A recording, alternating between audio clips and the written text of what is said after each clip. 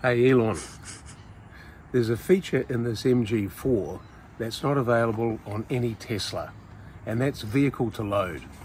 Come on man, you're building a starship to go to Mars. Surely we can have vehicle to load in a Tesla. Let me show you how it works. The vehicle to load adapter cable is provided with the MG4.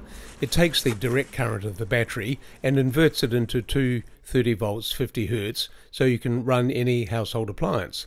It's part of a larger package of cables that come with the MG4, including our home charging unit, which on a Tesla is an additional $700. They're going to make toast out in the bush. Yeah. yeah. That'd be fun. We should just do that. Well, actually, we're going to use that to charge my Tesla off this car. Get out.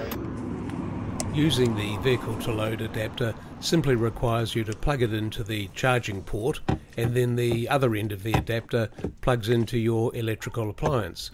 In this instance we're using a vacuum cleaner so I can clean the car.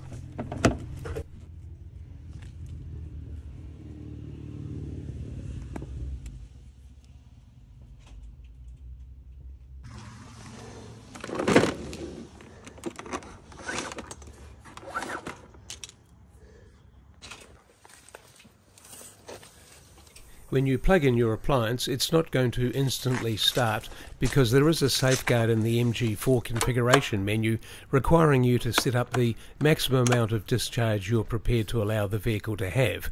That way you don't get caught camping somewhere and find that you don't have enough battery to drive home at the end of the trip. At the end of this video there's a short segment that just shows you how to configure this menu.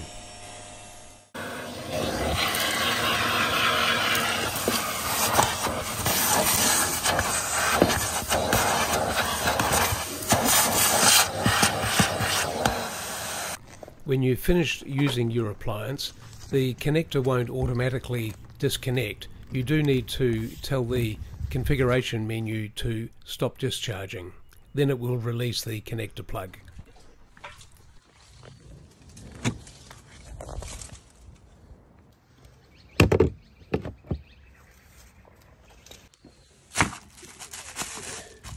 So in a nutshell, that's how vehicle to load works.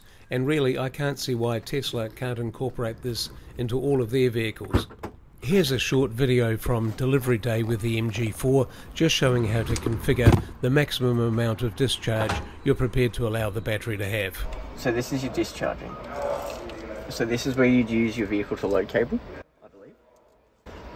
You plug in and then you press start discharging. This one here is how much it's going to allow the vehicle to load cable to drain from the battery. Yeah, okay. Yeah.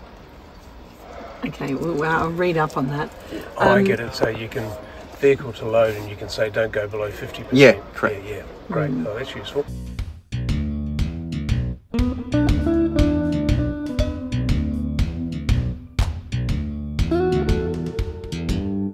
G'day and welcome to Steve's Tesla.